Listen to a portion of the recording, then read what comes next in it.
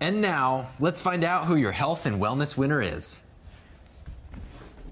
And the winner for health and wellness is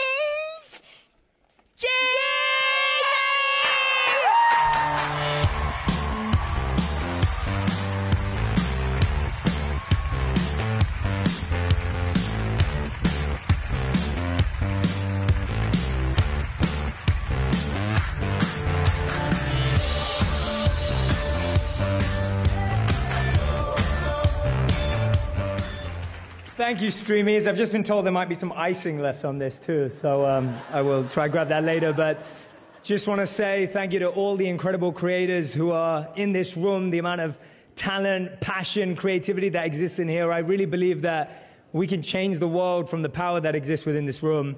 And this award belongs to every creator that's trying to help the 450 million people currently suffering from a mental health condition. So thank you so much to each and every one of you.